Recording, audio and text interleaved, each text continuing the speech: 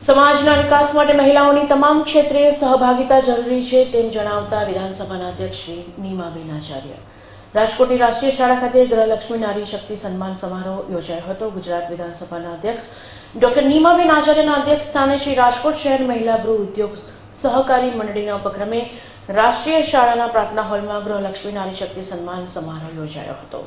અહેવાલ દીપક રાઠોડ.